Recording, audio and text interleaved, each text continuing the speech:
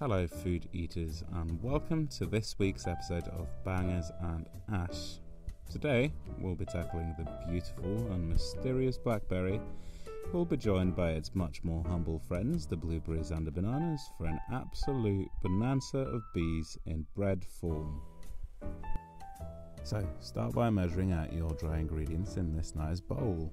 You want 285 grams of plain white flour, a very elegantly poured teaspoon of salt,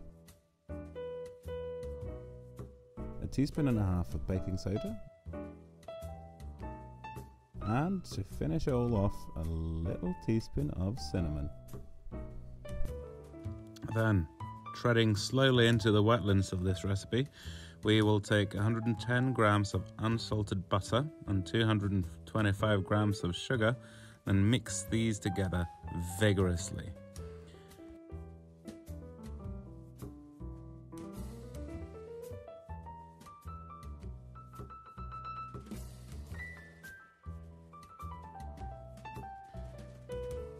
When that has been combined comprehensively, you want to mix in two eggs, or in this instance, your housemate's leftover two egg yolks, 85 milliliters of buttermilk or normal milk mixed with a little bit of lemon juice, and then finish off with one teaspoon of vanilla extract. So, I think it's about time we get a bit of fruit in here. So, into your bowl, you want to dispatch your two bananas. Uh, ideally, you want these to be as ripe as possible, as they're sweeter and better in bread. And you want to mash these until they are well and truly mashed before adding in your berries. Now, upon seeing this myself, you don't need to do this in two separate mashing sessions. It is utterly redundant, and you can just mix in your berries with the bananas and mash these all together from the get go.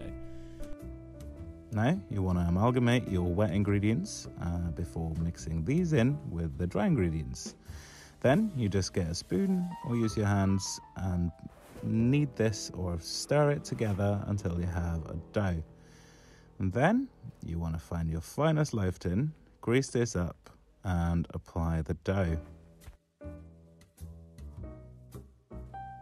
Once all the dough has safely arrived in the loaf tin, you want to whack this bad boy in the oven at 180 degrees for about 45 minutes to an hour or until it looks roughly like this. Then you want to eject the loaf from its tin and place on a wire rack for it to cool down before tucking in. And now seems uh, like a good time to apologise for the fact that I've left my fly down and forgot my apron. Um, I, in all honesty, have been wearing trackies for so long in self isolation that I'd forgotten how normal trousers work. But um, anyway, now that the life has cooled down, we can finally tuck in and as any cooking show with any self respect would do, here is a cross section. To be honest, this is tasty and there's definitely a hint of berries in there, but it mainly tastes like banana bread, um, which is in itself very tasty.